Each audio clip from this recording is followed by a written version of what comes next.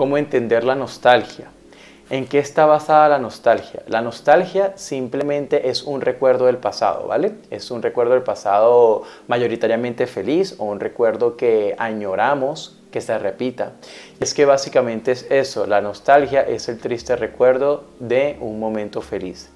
Pero para hacer más llevadero el proceso o hacer más llevadera tu percepción de las cosas, cuando sentimos nostalgia a niveles mayores o a niveles un poquito más em, frecuentes, cuando sentimos nostalgia frecuentemente es simplemente porque nuestro cerebro o nuestra mente prácticamente toma la idea de que nosotros no podremos recrear un momento similar o un momento mejor en nuestras vidas.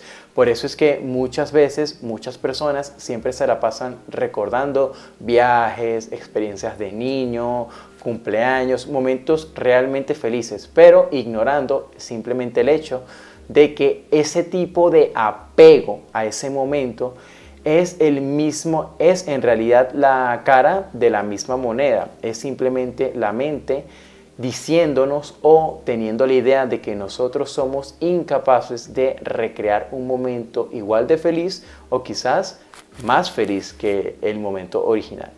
Entonces, simplemente es eso. Nos vemos en la próxima.